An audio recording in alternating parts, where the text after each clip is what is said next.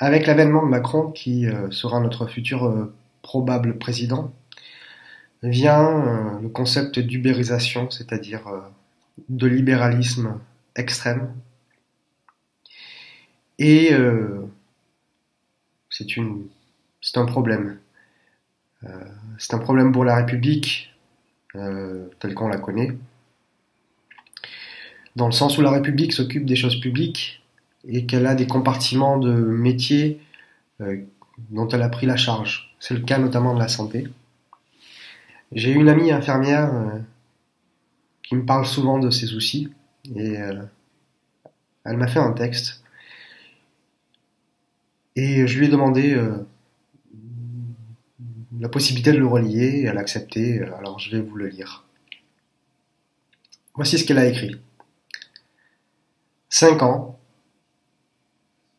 Cinq petites années que j'exerce le métier d'infirmière. Avec une pointe de prétention au tout début de ma minuscule carrière. J'avais le réel sentiment d'être un peu une héroïne, mais ça c'était avant. Depuis, ma candeur a pris un uppercut. Elle s'est pas relevée. Chaos. Je voyais dans les yeux des gens d'admiration et espoir. Les regards sont aujourd'hui lourds de compassion, de peine, voire de pitié. Je trouvais mon métier honorable car j'allais au-devant de la maladie, pour la terrasser d'un coup de sourire, d'une main posée sur une autre, de mots de pain de guérison. Je trouve aujourd'hui ce que je fais honorable car j'encaisse tous les jours ou presque des insultes, du mépris, de la violence, des menaces de la part de patients ou de familles.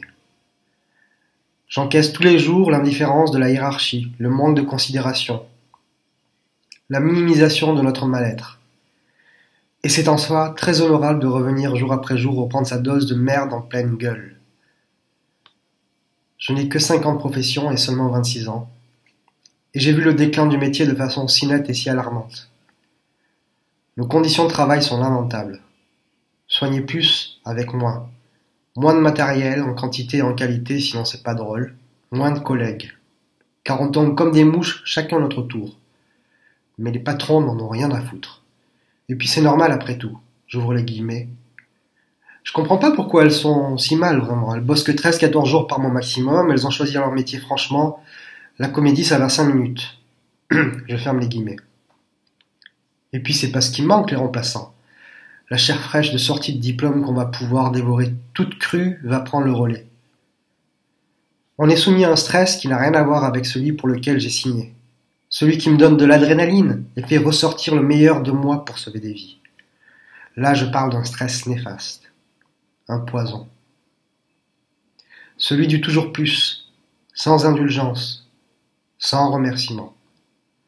J'ouvre les guillemets. Vous êtes une de moi aujourd'hui? Oh, mais vous allez vous en sortir.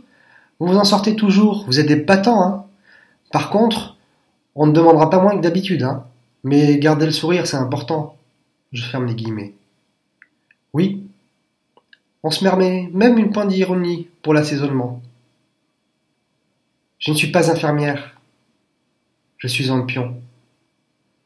Je ne suis pas fier. Je suis désabusé. Je ne suis pas honorable je suis épuisé. Je ne suis pas une héroïne, je suis une humaine. Et l'humain souffre.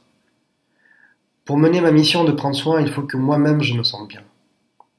On étouffe sous trop bien de mélasse physique et morale pour être bien. Il devient de plus en plus compliqué de sourire avec sincérité, de faire rire pour faire oublier, de soutenir pour apporter force et espoir, de se lever le matin avec motivation. L'angoisse a pris le relais, et sa copine désillusion lui a pris la main. Le déclin est en marche. Mais caché dans un coin de mon cœur, j'ai une once d'espoir qui demeure, l'espérance de jours meilleurs, l'attente d'une évolution, d'un réel soutien, d'une réelle prise de conscience, l'espoir qu'un jour on nous écoute avec le cœur, pas avec une calculette. Voilà ce qu'elle a écrit. Malheureusement, concernant sa conclusion, je pense que je pense qu'elle rêve. À bientôt.